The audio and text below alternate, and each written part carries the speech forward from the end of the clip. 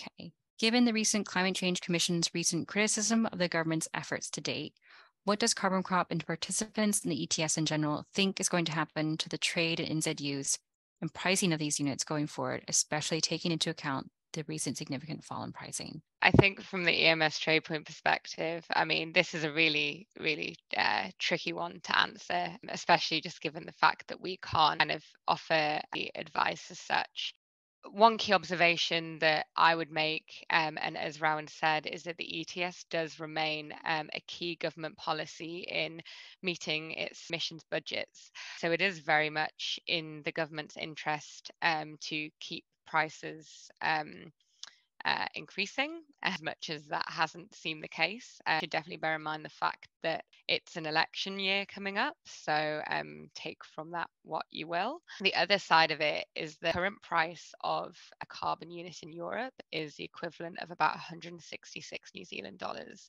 which shows that other carbon markets are increasing to the levels that were suggested by the Climate Change Commission. And this analysis that the Climate Change Commission has done is certainly not unique. I've definitely seen lots of other analysis done by private companies that have shown that the price does need to increase. But obviously, the government is co- continuously balancing um, lots of other factors um, in the economy.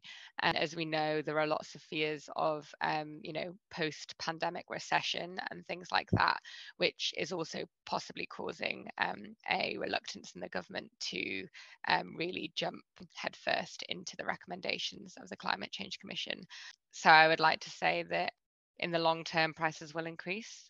Again, this is very much my opinion and not that of emsTradepoints and should not be taken as advice. It's hard to know what that long term is actually going to be.